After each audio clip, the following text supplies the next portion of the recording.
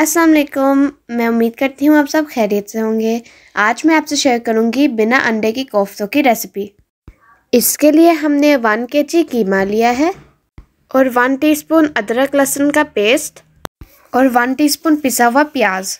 उसका पानी हमने अच्छी तरह निचोड़ लिया है और अब हम इसमें ऐड करेंगे हाफ़ टी स्पून गर्म मसाला, पिसा हुआ ज़ीरा और साबुत धनिया वन टीस्पून वन पिंच हल्दी नमक और रेड चिली आप अपने टेस्ट के मुताबिक ऐड कर सकते हैं।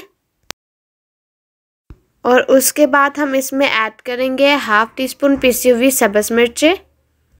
थोड़ा सा सब्ज़ धनिया ऐड करेंगे। और आप अपने टेस्ट के मुताबिक पुदीना भी ऐड कर सकते हैं।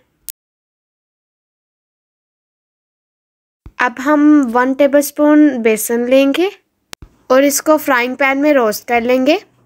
और बाद में बेसन को कीमे में ऐड कर लेंगे।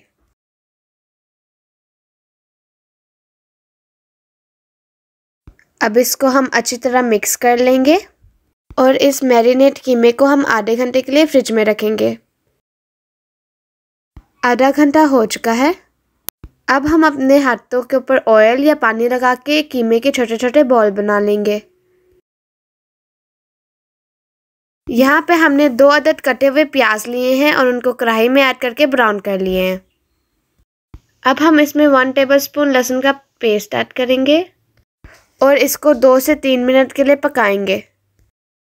घीमे के हमारे बॉल तैयार हो चुके हैं। ब्राउन किए हुए प्याज और लहसुन को हम एक मिक्सचर में डाल के पीस लेंगे और साथ ही हम इस मिक्सर में टमाटर भी ऐड करेंगे। अब इन तीनों का पेस्ट हम दोबारा ऑयल में ऐड करेंगे और इसको हम दो से तीन मिनट के लिए पकाएँगे। इसमें अब हम नमक, मिर्च और हल्दी ऐड करेंगे और इसको पाँच से छः मिनट पकाएँगे।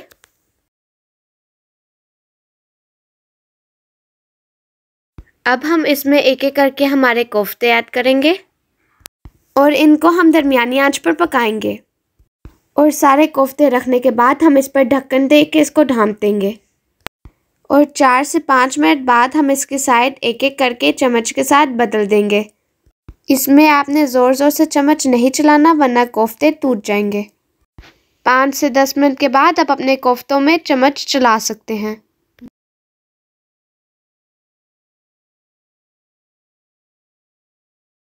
अब हम इसमें वन टेबल स्पून अदरक ऐड करेंगे।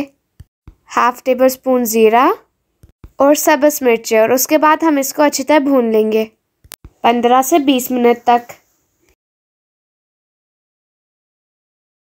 कोफ्तों को हमने पंद्रह से बीस मिनट तक पका लिया है। अब हम इसमें वन ग्लास पानी ऐड करेंगे और मज़ीद इसको दस मिनट पकाएँगे।